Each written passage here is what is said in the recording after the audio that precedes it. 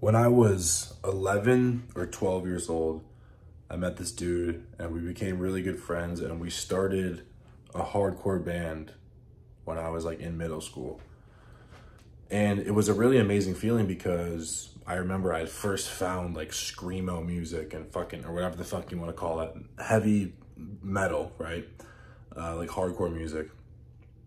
And I was so intrigued by it and I was so happy that I found something that I'd become so passionate about. And I remember I wanted to be a screamer so bad. So I would do whatever it took to you know, make that my reality. And started hanging out with a bunch of different people that were in bands. And then I ended up starting a band um, when I was like 12 years old. And you guys know Pablo. Pablo's my video guy. He does all my high quality content for like my Instagram. He's on the podcast with me. He was actually the guitar player in that band. And, you know, I was in that band and a few other bands. We're talking from age, I don't know, 12 to like 19. And I played hundreds of hardcore shows for, for you know, we're talking big crowds, like 100, five, sometimes 500 plus people, right? And while I was in this band, I learned something about myself and that I learned that I, I had this almost like creative drive that was dying to get out. And I realized that it almost like wasn't up to me. It was like I had this thing embedded in me where I had to express it and it, it had to come out no matter what. And this is actually funny because this is about the time where I, I was first exposed to like other people that were like heavily tattooed because I would go to shows and you know, I was young. I was fucking really young. We're talking 13, 14, um, playing hardcore shows and I would see people with tattoos. And that's actually when I first started to like tell myself like, oh, one day I want to be tattooed. I, I, I didn't end up getting my first tattoo till I was 25, but I knew when I started to play shows and when I was on stage um, and the feeling that I had when I would play shows and hold the microphone and fucking, you know, peep, you know, crowds of people fucking from, you know, different parts of different, different states even, or different parts of Pennsylvania that knew about us that were like really far away and they heard our shit. It was just crazy because this was before Instagram, you know, this is before we had fucking really any of that shit. And we were, you know, I was, you know, we were on MySpace and Facebook and shit like that. So it's kind of crazy to think about. Um, and, and I realized, you know, that there's a lot of people, because I would play these shows and then I would go back to school, you know, play a show on the weekend and then go to school on the fucking weekdays or, or Monday after that. And um, I realized that, you know, it was rare what we were doing, like playing concerts and fucking dressing the way we dressed and being into the shit that we were into. It was rare because a lot of kids were like playing sports and a lot of kids were doing a bunch of other shit. You know, they weren't in band, they weren't playing hardcore shows, you know, at you know the age that we were at. So it was really rare. But I started to realize this about other people is that people would come up to me and they would say, you know, I want to I want to start a band or you know, I wish I could do that and all this shit. And I realized I was like it was never like I never felt like you know, I always felt like it was possible to to to be in a band and, and dress the way I wanted to and do the things that I wanted to and have tattoos. I never thought that it would be impossible. I always thought that hell was like not being able to live your truth. I always felt that not being able to authentically express yourself, like that's actually what hell is for me.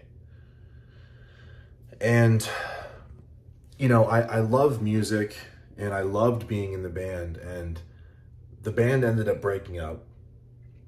Everyone that was in the band ended up growing up and, you know, finding their different career paths.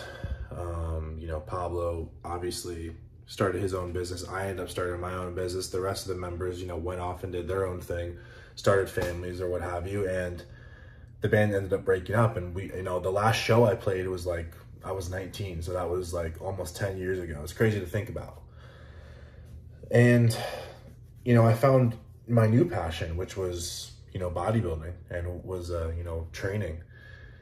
And that was kind of like my my passion for like the next, we'll say, fucking seven to ten years. You know, it kind of those those two time periods definitely eclipsed. Like I was in the band, started to work out, fell more in love with working out than I did the band. Um, and then you know, I, you know, of, of course, years and years later, working a bunch of bullshit fucking jobs at age 25, I ended up quitting the workforce and starting my own business, and I've been an entrepreneur ever since. But that feeling has never left me. That feeling of creativity and that inner, um, that inner kind of calling to express myself authentically and never fucking stop and always show people who I really am and not not for myself necessarily, but to kind of be a beacon of light for people and show them that you can do whatever the fuck you want in this life, like within reason, right? Um, especially if it's for a good cause.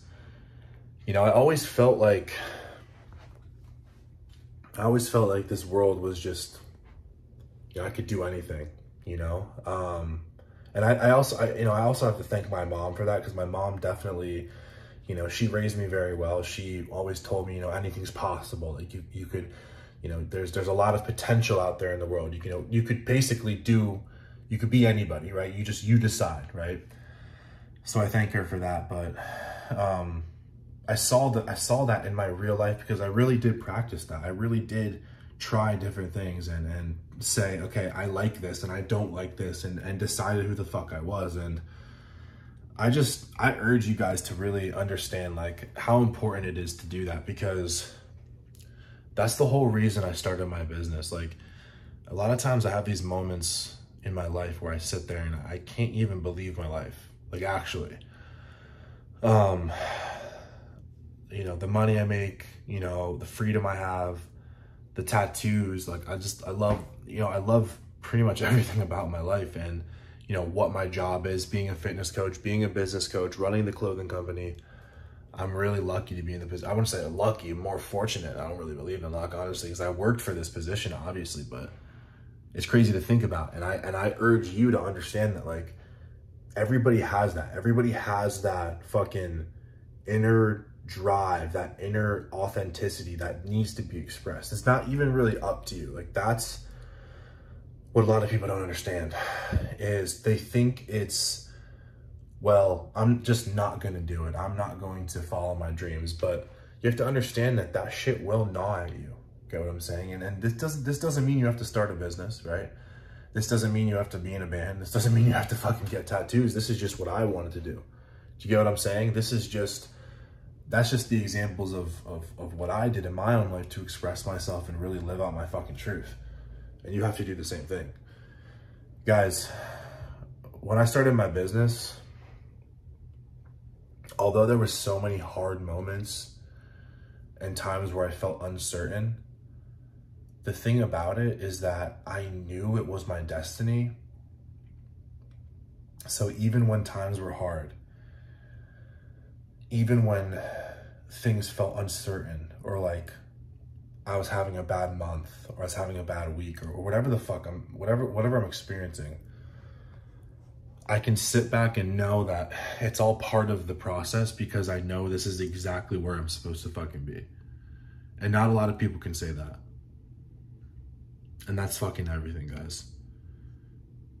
Like, this business, fitness, social media, and then using it to my advantage and understanding the actual power behind it and really just accepting the like the reality of the world i urge you all to do that. I urge you all to accept the fact that you are meant for something greater you're meant for something more even if i mean a lot of you guys you don't even understand like i'm, I'm 28 it's a process like just because you're fucking my age or, or younger and you're not where you want to be yet, that doesn't mean that you give up. That doesn't mean that your story's over. It just means that this is part of your fucking story. And you have to accept it. You have to move past it. You have to move through it. Just the way it is, guys. So always express yourself authentically. You know, I wanted to talk about when I was in a band because I wanted to show you guys that, you know, I never let anything hold, you know, hold me back I always express myself the way, yeah, of course I got, of course I got made fun of in fucking middle school for the way I looked and the way I dressed and, you know, being in a band and all this shit. And, and, and at the end of the day, it's because I was going my own way even back then at age 15. You know what I'm saying? So, and that's the ultimate freedom. That's the ultimate measure of success is if you can live life on your own fucking terms. So guys, um, if this video resonated with you, fuck yeah, that's awesome. I'm happy that it did. Um, if you want to work with me one-on-one to build your coaching business, uh, guys, I don't work with everybody. The types of people I like to work with for my uh, online coaching business are people who are already in shape, people who are powerlifters, bodybuilders, crossfitters, MMA fighters, the guys that are already in shape and can coach other people to get in shape. Um, if you are, don't have the skill to be able to actually coach someone with nutrition, training, mindset, accountability, like if you can't do that, then I can't help you. But if you can, and you want to leave your nine to five, or you're not making the money that you want in your business and you want to scale it, you can apply below. I can help you out. Regardless, I appreciate you guys watching. I appreciate you guys subscribing and following. And never let that part of you die.